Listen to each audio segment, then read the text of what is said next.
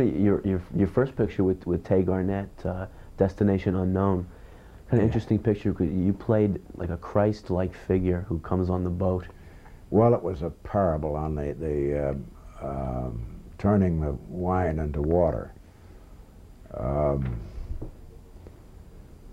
it was under dreadful circumstances. The, the Hollywood was in the midst of a flu epidemic, the like of which has never been known, I guess, since the bad one in Chicago, which I went through uh, many years earlier. Um, every studio in town was closed except Universal, where we were making Destination Unknown. And uh, there was a ship, the whole story was, was laid aboard a ship, and finally a wreck. The ship was wrecked. So we'd uh, come to work and uh, climb up on this ship, which was mounted up in the air on, uh, so it could rock and roll uh, as if at sea. And we had, we'd have fire hoses turned on us.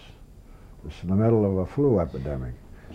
And uh, work all day in the water. And uh, I don't know, there's not much, uh, it isn't much of a story except to describe that part of it. We, uh, we ended up in a, a tank uh, we were, when we were shipwrecked, and then the final shots uh, down in the ocean. And uh, we all came through it. I must say, uh, I guess in all honesty, uh, during the day, every once in a while, we would nip a little bit. Um, during the shooting of it, um, this was in the days of Uncle Carl Laemmle, who ran Universal, and they sent for Tay during the daytime one day, and they said, uh, "How is it that you can go on making this picture in the midst, midst of this flu epidemic, and with every other studio shut down, and you're the only company working on the lot and all that water?"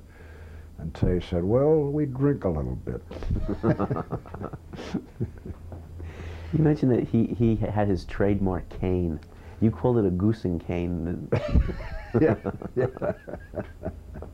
he was a character. He was a great practical joker. A great fellow to work with. Always uh, something amusing going on, which um, transmitted itself to the company, and the company was always a happy company. In your other picture with him, uh, Trade Winds, Trade winds with Freddie March. Yeah. and, and you were, you played just, just just about the whole picture in, in, in front of the process screen Uh, with the footage. uh, Tay was married uh, at that time to uh, Patsy Ruth Miller, and they went around the world on their yacht, their own yacht. And he shot background plates.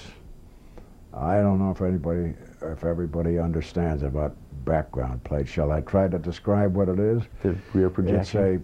It's a, yeah, uh, a, an enormous um, transparent transparency, maybe uh, 20 feet square. Uh, a camera in back of it um, projected a picture, and the action, uh, the, uh, the actors performed in front so that it looked as if you were in the area that was being projected uh, from the rear of the screen.